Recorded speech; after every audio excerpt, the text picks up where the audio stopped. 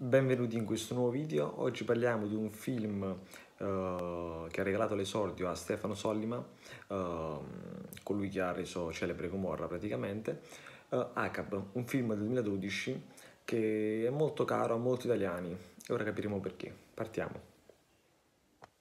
Partiamo col dire che è un film del 2012, quindi vecchio ma non vecchissimo, disponibile ora su Netflix o in streaming dove volete, parliamoci chiaramente.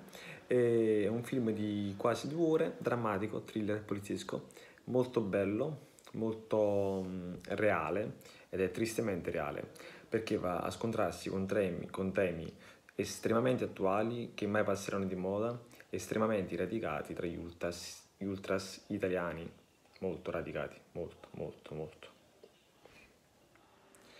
Le colonne sonore sono molto belle perché sono dei Mokadelic, sempre collaborazioni con Catalea, Sky, Sky Atlantic che ha fatto appunto uh, Sollima, la regia di Gomorra e Mokadelic le meravigliose colonne sonore di Gomorra. Sono tre celerini i nostri protagonisti, Filippo Nigro, il calvo che fa Amedeo Cinaglia in Suburra, Marco Giallini, che cosa non ha fatto, uh, e Pierfrancesco Favino, cosa non ha fatto. Questi tre attori, Filippo Nigro magari per chi non lo sapesse è colui che faceva all'epoca Ris di Parma, e altri due hanno fatto tantissimi ruoli di notevole importanza per il cinema italiano e non solo. Quindi tre attori che amo, che hanno fatto parte della mia adolescenza e della mia uh, crescita, insomma, dal punto di vista culturale. Um, sono tre celerini che affrontano il lavoro con enorme frustrazione, frustrazioni, vabbè, con enorme nervosismo sul lavoro e lo rivestono su qualsiasi aspetto della vita. Questo è il trailer, insomma, in sintesi.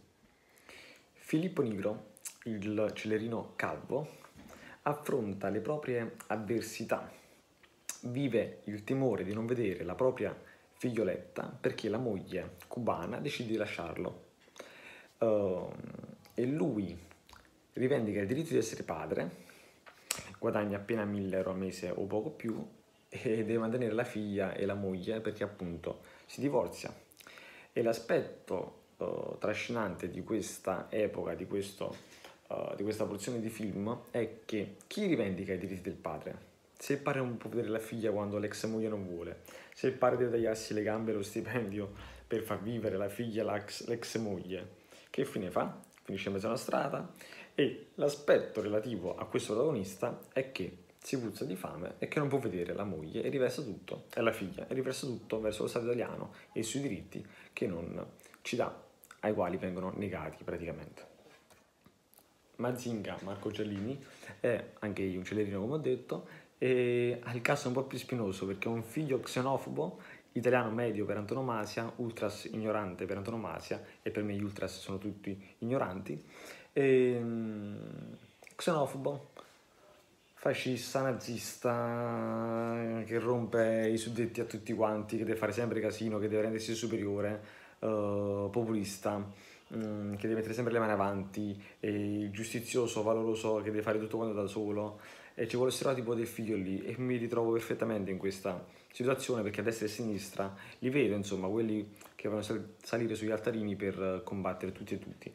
Ma senza concludere mai nulla. E lui è il finto invalido e deve combattere con la sua gamba con la moglie che fa anche la poliziotta in maniera anche lei un po' balorda e col figlio che dovrebbe essere arrestato ma non verrà arrestato.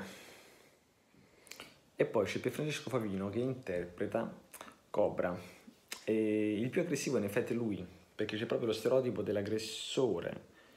Celerino, ragazzo, tifoso praticamente, dove fa vedere alcuni retroscena sia dal punto di vista stradale, pratico, sia dal punto di vista giudiziario e verrà assolto con grande sorpresa. Le colonne sonore non sono soltanto Mogadelic ma anche qualcosa di FIFA se avete vissuto questo segmento eSports ed è molto bello.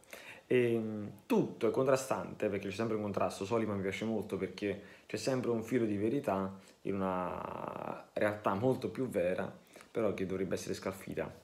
E fa parte anche Adriano Cosentino, non ricordo l'attore ma molto bravo anche egli, mi sa Domenico Diele, sì, dico bene, uh, che dovrebbe scardinare le coscienze altrui, ma non vi dico altro perché è un film che merita ed è molto molto molto interessante. Film di questo genere a me piacciono molto, sia perché la crudeltà, i thriller sono tra i miei film preferiti. E si parla di polizia, di calci, di ultras ed è un film molto attuale perché sono tanti, tanti, tanti, tanti anni che in Italia nutre, cresce e serpeggia questo malessere increscioso, dilagante, sconsacrante e enorme eh, dell'ignoranza applicata nella vita come nello sport, con pretesti sempre più ridicoli che si protraggono nelle generazioni nelle generazioni. Quindi il tema attuale c'è la crudeltà pura, divertimento anche, musica eccellente, tensione crescente ed è un film che vi consiglio su Netflix ora.